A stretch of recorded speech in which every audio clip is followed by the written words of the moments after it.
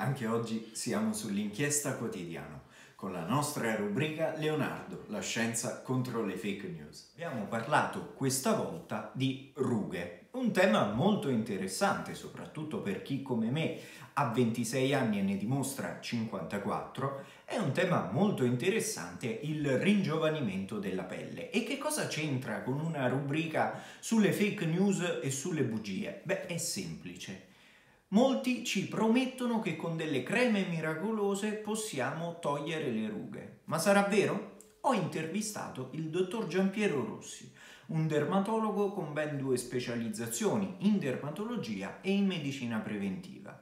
È un bravissimo dermatologo che tra l'altro ha prestato servizio gratuitamente al Melanoma Day facendo tantissime visite.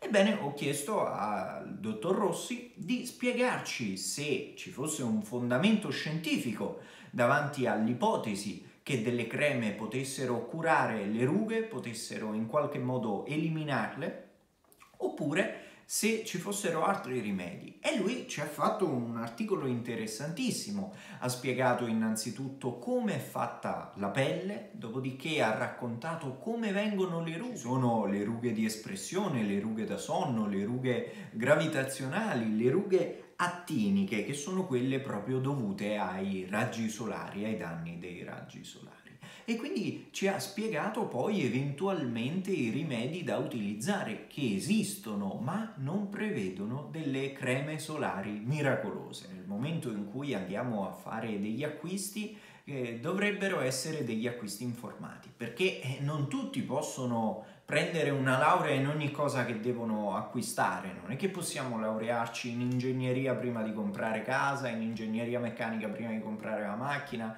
in medicina prima di comprare una crema solare e in, in economia prima di andare a fare un mutuo in banca.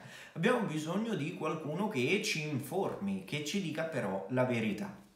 E quindi nell'articolo di oggi abbiamo parlato di come si trattano le rughe, abbiamo visto che c'è un ente di controllo sulle creme che eh, diciamo in qualche modo va ad analizzarle, gli eventuali effetti che hanno, come sono composte, eccetera, eccetera. Io ho detto, dottore, ma è vero che dobbiamo mettere le creme solari anche in inverno? Perché sapete, io potete facilmente vedere che non c'è molta differenza tra il colore della mia pelle e quello della mia camicia bianca eh, perché io non prendo molto sole. Però voglio dire in inverno non avevo mai messo la crema solare ma ho sentito molti dermatologi consigliare. Questa domanda tra l'altro la giro a tutti gli amici dermatologi che, che mi seguono eh, adesso magari vi taggo così ve lo chiedo meglio se dobbiamo utilizzarla. La risposta del parere della comunità scientifica è che, eh, mi dice il dottore, grazie per la domanda che dà spunto per sfatare un'altra cattiva informazione in merito.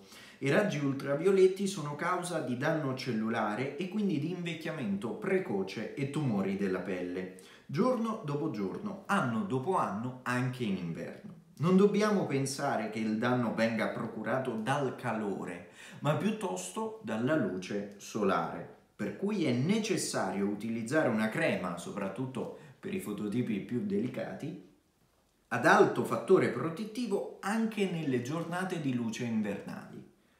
Ogni dermatologo raccomanderà inoltre l'utilizzo di creme ad alto fattore protettivo dall'inizio alla fine dell'esposizione. Oggi in farmacia c'è un'ampia disponibilità. Quindi, che cosa ne pensate di questo articolo? Mi avevate chiesto proprio voi di affrontare il tema delle creme antirughe, di cosa vogliamo parlare la settimana prossima e soprattutto i eh, tanti amici dermatologi, farmacisti, medici che vogliono intervenire eh, su questo argomento e vogliono spiegarlo meglio, magari ci vogliono raccontare meglio come è fatta la pelle, come si forma una ruga, uh, sono i benvenuti. Vi taggo così potete uh, raccontarcelo nelle, nelle vostre storie che poi giro sul mio profilo così le possiamo vedere tutti.